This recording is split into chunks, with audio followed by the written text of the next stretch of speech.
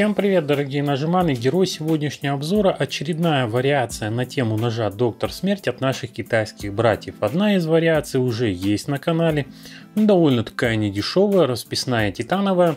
А вот пару дней назад ко мне попала в руки вот такая вот бюджетная стальная э, версия. Бюджетная стальная версия приехала с магазина AliExpress. Я дам ссылку на тот магазин, где покупался этот нож. Ну а мы давайте посмотрим, что в общем-то китайцы могут нам предложить в этой вариации за стоимость э, в районе 20 долларов. А могут они предложить цельно-стальной нож, э, поэтому он очень нелегкий. Рукоять ножа сделана из стали, это даже не алюминиевый сплав. Сразу смотрите, как она обработана. Это приятный довольно Stone Wash. Одна стальная плашка и вторая стальная плашка разделены стальные плашки аутентичным бэкспейсером. А вот бэкспейсер выполнен из алюминия, из алюминиевого сплава. Э, ну, не буду говорить, что это авиационный, я понятия не имею. Вот мне он лично напоминает дюраль алюминий. У меня в детстве из такого материала были сделаны лыжные палки.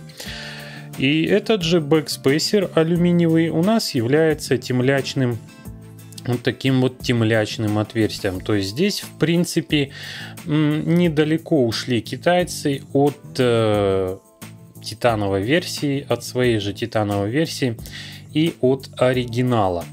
Э, несмотря на то, что реплика довольно-таки бюджетная, реплика хорошо исполнена, хорошо подогнана и хорошо собрана. Вот так выглядит спинка рукояти, плавничок, за который нужно открывать клинок, обух клинка. Кстати, обратите внимание на насечку, на то, как исполнена насечка на бюджетном ноже. Вот видно, что поработала бездушная машина. Клинок абсолютно по центру. Нож на подшипниках. Я не разбирал, не знаю на каких, но отлично работают подшипники. Просто пушечный флип. И клинок можно сказать, складывается под своим весом. Аутентичными винтами все это скручено между собой. И снабжено клипсой для ношения на кармане. Вот клипса это огромный недостаток в этом ноже. А, я не знаю, для чего нужно было сделать ее вот такой вот змейкой. Мне кажется, вот этот вот кончик, он явно лишний поворот.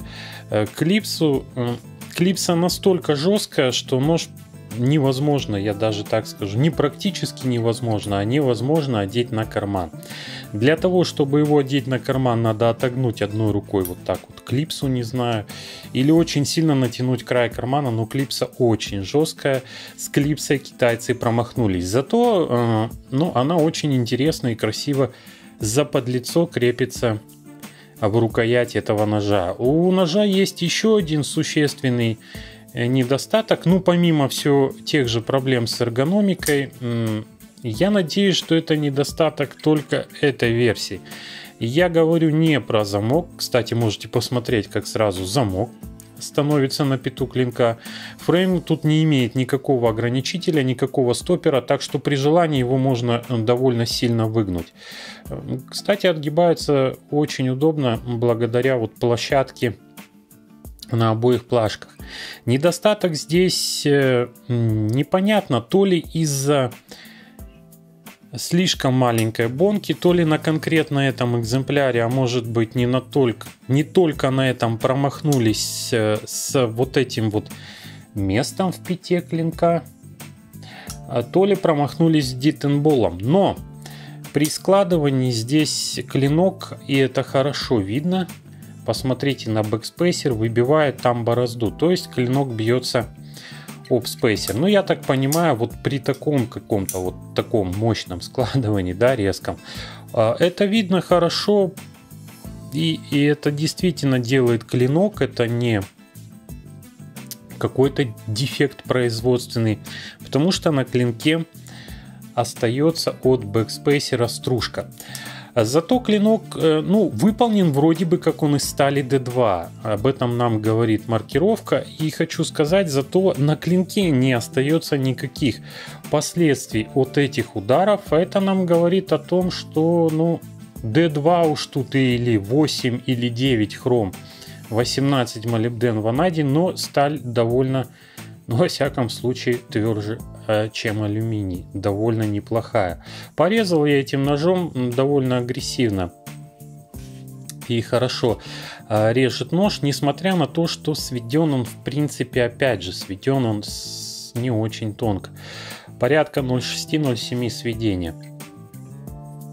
Вот, в основном это та же самая вариация с теми же самыми, ну, лично мне доставляющими неудобства особенностями эргономики. Это все тот же впивающийся кончик э, бэкспейсера в, в руку, в руку. И все та же непонятная вещь, в принципе, и, по-моему, на оригинале также сделано с рукоятью в районе обуха. То есть у нас есть насечка, подразумевается, что мы нет да нет в какой-то работе, ну, там, поковырять или что-то подстругать, будем ложить большой палец на эту насечку, э, и у нас есть вот этот вот угол рукояти, который будет впиваться нам в этот большой палец, когда мы положим его на насечку, да, в доме, который построил Джек. Вот. А, но к достоинствам, к достоинствам этой версии, конечно же, можно отнести при всех ее недостатках, вот непонятных, вот таких вот конструктивных, а, можно отнести стоимость.